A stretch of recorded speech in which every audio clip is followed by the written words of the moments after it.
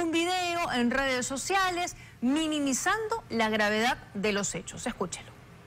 Quiero agradecer a todos los amigos que me han mandado diversos mensajes desde muy temprano. Renan, ¿cómo estás? ¿Qué pasó? Bueno, el día de ayer, feriado, uno, Día del Trabajador, tuvimos un accidente de tránsito. Uf, terrible. Pero lo importante es que todos estamos bien de salud y eso es lo importante que siempre hay que recalcar.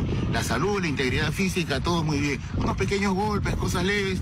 Los daños materiales son subsanables al fin y al cabo, pero la integridad de todos nosotros está a salvo. Desde ayer, hoy, preocupado también por cómo están los demás muchachos. Todo bien, felizmente, todos seguimos para adelante y desde muy temprano saliendo a recorrer las obras para asegurarnos que las construcciones se hagan de manera correcta. Hay que estar siempre vigilante para que todo salga bien, se construya bien para el beneficio de todos los vecinos. Así que seguimos trabajando y seguimos para adelante.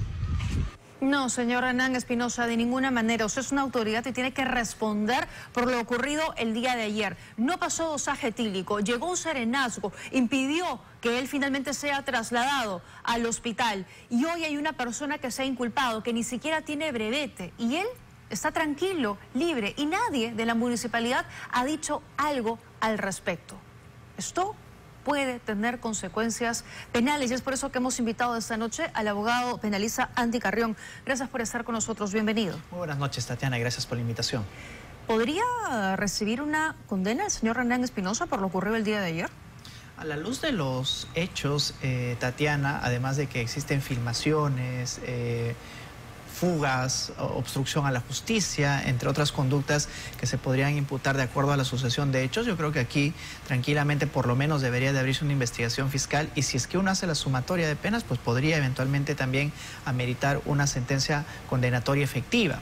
Pero si comenzamos nosotros por lo primero, eh, deberíamos de decir de que el manejar en estado de ebriedad está sancionado en nuestro Código Penal. El solo hecho de manejar sin siquiera que se produzca un accidente como es este caso y ello aunado a los actos posteriores, ¿no? El hecho de no pasar el dosaje etílico, por ejemplo. Pero ya no se va a saber, Y ya no se va a saber y es por eso que nuestro Código Penal sanciona a aquellas personas que no pasan por esta prueba a sucedidos los, eh, los hechos, que va desde los cuatro hasta los siete años eh, de prisión. Además de ello, los hechos eh, posteriores, Tatiana, porque no solamente quedó ahí, sino que mientras ellos eran llevados en una ambulancia, vino un sereno, ¿verdad?, a tratar de sustraerlos de la propia investigación, con la finalidad y lo logró con la finalidad naturalmente de que con el paso del tiempo pueda ya diluirse esta concentración de alcohol en la sangre. Y ahora vemos los resultados, porque como tú has dicho, después de transcurrido un determinado tiempo, pues ya no es posible identificar cuál es el grado de concentración de alcohol en la sangre. Y eso entiendo que es lo que ha buscado, porque hablamos de un sereno que responde a la autoridad que es el alcalde provincial, no estamos hablando de cualquier otra persona. Y lo que yo creo tiene que indagarse, y es por eso que también la Fiscalía ya ha ordenado la detención de las dos personas que estaban vinculadas a estos hechos, es realmente cruzar la información, si alguien ha dado la orden, cuál fue el motivo de, acercarse precisamente a sustraer a esta persona de la persecución. ¿Quién ¿no? ¿Quién dio la orden a este sereno para que vaya a intervenir la ambulancia? Y estamos hablando de una autoridad, ¿no? estamos hablando nada menos que del alcalde. Y estos hechos necesariamente van a meritar una investigación, pero aquí hay que diferenciar dos cosas. La orden de detención se ha dado en contra de dos personas naturales que no son en rigor o que no tienen algún tipo de estatus. Esperemos de que la Fiscalía también eh, abra una investigación en contra del alcalde, ¿no? Por los hechos que ahora estamos advirtiendo. De acuerdo, porque además hay una persona que es el gerente de comunicaciones que ha dicho, yo, yo iba al volante, yo estaba manejando, él no tiene brevete, el único pasajero que tenía eh, brevete para conducir, permiso, es el señor Renan Espinosa, es su camioneta, además. Algo tiene que decir, ¿no? Ahí hay algo que aclarar también. No significa que el que conducía es el único que puede responder por no pasar el dosaje etílico. El Código Penal habla de las personas que se niegan a pasar el dosaje etílico. No importa si eras conductor o eras acompañante o simplemente ibas en el auto. Y en este caso vemos que las dos personas que iban en la ambulancia no pasaron nunca el dosaje etílico. De acuerdo. Y es precisamente esa la prueba principal que se tiene para poder investigar los hechos. La policía además pudo haber sido, me parece, un poco más firme, ¿no? A ver, si el sereno venía a, impedir que esto ocurriese, pudo haber detenido por tratar de, tomar esa acción y seguir con el proceso y llevar al alcalde y al otro herido a que continúen con el osaje etílico. Claro que sí, además de que ahora ya las investigaciones están continuando con estas dos personas detenidas. Lo que me extraña es por qué no se ha tomado alguna medida restrictiva en contra del alcalde, ¿no? Porque se supone, por ejemplo, que eh, la fiscalía pueda solicitar una detención preliminar precisamente para que esclarezca los hechos dentro del tiempo que le da la ley. ¿Por qué? Porque el hecho de también haber eh, claudicado esa obligación que tiene de pasar el dosaje etílico, eh, Tatiana, puede constituir obstrucción a la justicia.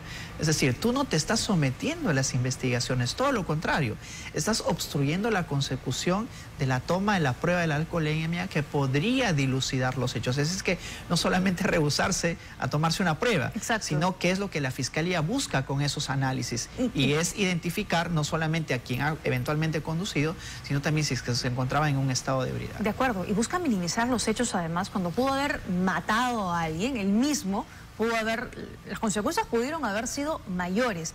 ¿Qué pasa además si se descubre que el alcalde porque además hay un video donde se le ve dentro de la, de la ambulancia escribiendo, ¿no?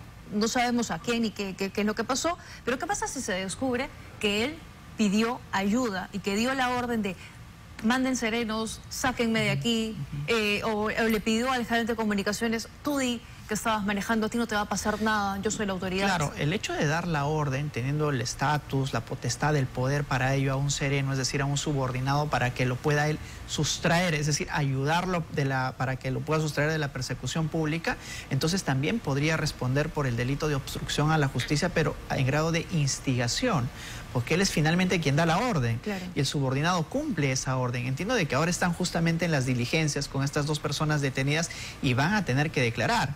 Y no solo ellos, sino van a tener que cruzar información para certificar si en efecto ha recibido algún tipo de orden o se apareció espontáneamente el sereno, cosa que yo creo que es altamente improbable. Imposible, imposible prácticamente, sí. Entonces, el Ministerio Público ha iniciado ya las investigaciones, hay dos personas detenidas, pero lo que tocaría ahora es que el alcalde responde, porque no ha ido además a las citaciones. ¿Esto puede tener alguna consecuencia? Eh, claro, no ha ido a las citaciones y lo que ha hecho la Fiscalía es abrir una investigación por dos delitos concretos, a pesar de que yo creo que aquí pueden investigarse mucho más.